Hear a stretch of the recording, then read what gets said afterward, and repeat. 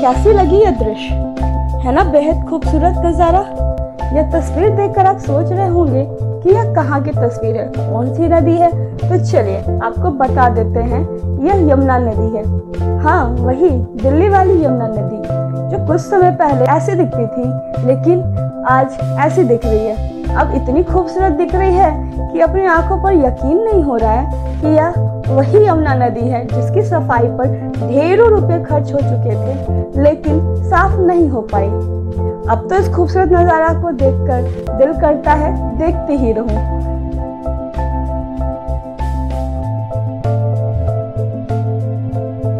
आपको पता है ये कैसे हुआ? यमुना इतनी स्वच्छ और खूबसूरत कैसे हो गई? अगर नहीं पता तो चलिए हम आपको बताते हैं।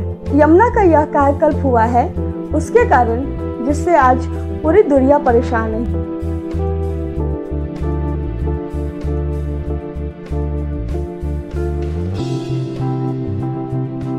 जी हाँ बिल्कुल सही सोच रहे हैं। कोरोना का ही यह परिणाम है।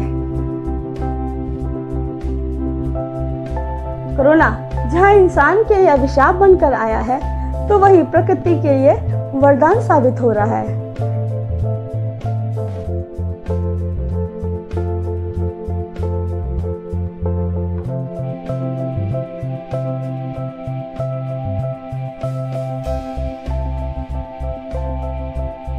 इस कोरोना के कारण प्रकृति आज स्वच्छ हो गई है, नदियाँ निर्मल हो गई हैं। जानते हैं कैसे? लॉकडाउन की वजह से। लॉकडाउन की वजह से देश भर में फैक्ट्रियाँ बंद हैं, जिसका यह परिणाम हुआ है कि प्रकृति अपने असली स्वरूप में आ गई है।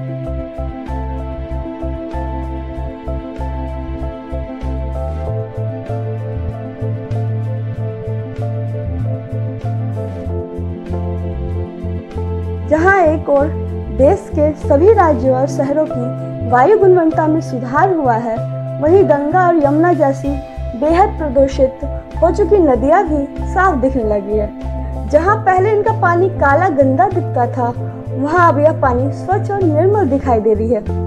यमुना की अविरलता और निर्मलता के लिए केंद्र व दिल्ली सरकार के प्रयास बीते करीब तीन दशकों से बेशक कामयाब ना हो सके हो, लेकिन इस लॉकडाउन के दौरान नदी खुद ही अपने आप को साफ़ कर लिया है।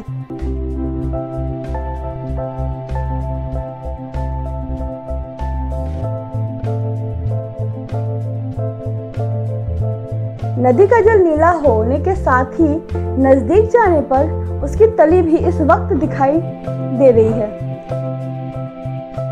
यानी यमुना नदी ने खुद को पुनर्जीवित करने का अपना एक अलग मॉडल पेश किया है।